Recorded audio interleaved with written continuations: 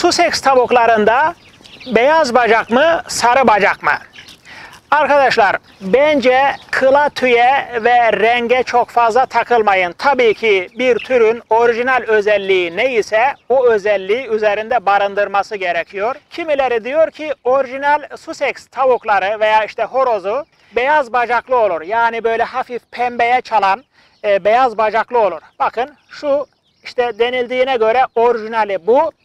Şu sarı bacaklı olan da işte hafif kırmalık var filan derler. Halbuki arkadaşlar bizim kümesimizde 5 tane beyaz bacak, 3 tane de sarı bacak tavuk var ama dikkat ettiniz mi? Sarı bacaklar neredeyse daha fazla. Çünkü sarı bacaklı Sussex tavukları beyaz bacaklara göre çok çok daha fazla yumurta yapıyorlar. Yani beyaz bacaklar arada bir teklese bile sarı bacaklar asla teklemiyor. Bu sadece benim tecrübem değil, uzun yıllar boyunca Sussex beslemiş tavuk uzmanı arkadaşların da ortak görüşü sarı bacaklılara işte orijinal değil falan derler ama sarı bacaklı Sussex'ler beyaz bacaklara göre çok çok daha fazla yumurta yapıyorlar ve bütün görselliği de sadece bacak rengi haricinde bütün görselliği aynı.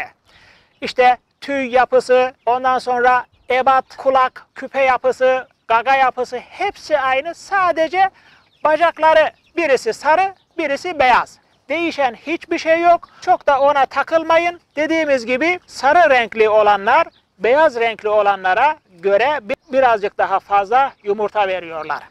Onu da söylemiş olalım.